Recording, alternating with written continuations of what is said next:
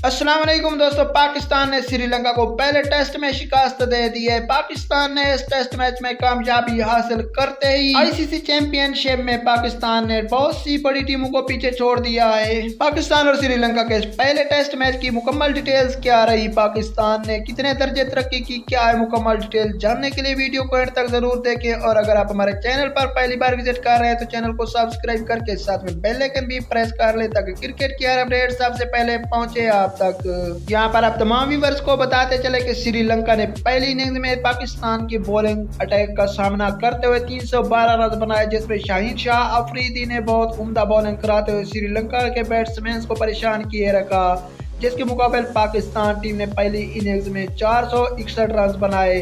जिसमें सऊद शकील की double century बेहतरीन परफॉर्मेंस शामिल थी। जबकि श्रीलंका की टीम दूसरी इनिंग्स में दो सौ उनासी रन ही बना सकी और पाकिस्तान के सामने 131 रन का एक आसान हदफ रखा। पहले टेस्ट के पाँचवें दिन पाकिस्तान टीम ने ये हदफ कंप्लीट कर लिया, जिसमें पाकिस्तान की टॉप ऑर्डर बैट्समैन दो फ्लॉप हुए, जिसके बाद ओपनर बैट्समैन इमाम उलाक ने एक अच्छी इनिंग्स 50 प्लस की खेलते हुए पाकिस्तान को ये हदफ कंप्लीट करा दिया।